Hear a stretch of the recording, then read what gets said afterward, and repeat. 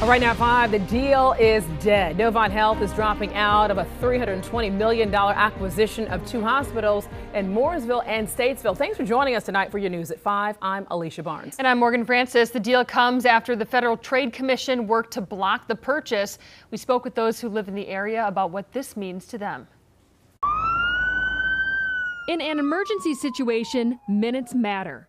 No one knows that better than Greg Thomas, who once rushed his wife to Lake Norman Regional Medical Center. They've been pretty good here. My wife had an emergency some years back, and the doctors here saved her life, basically. For years, Novant Health has been trying to buy Lake Norman Regional Medical Center and Davis Regional Medical Center. It's a $320 million deal that's now dead after the Federal Trade Commission got an appeals court to freeze the acquisition. I guess I have mixed feelings. Uh, I like the name recognition and Novant, and uh,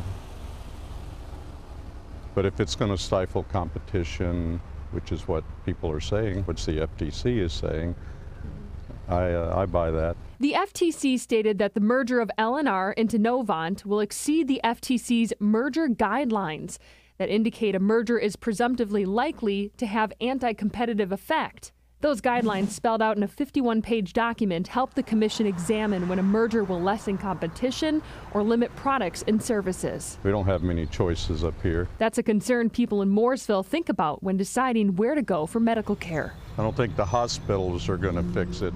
Healthcare premiums Medicare included, are very expensive. A spokesperson from Novant Health stated it's their belief that these facilities and their patients would have greatly benefited from joining Novant Health, adding with FTC's continued roadblocks, we do not see a way to finalize this transaction.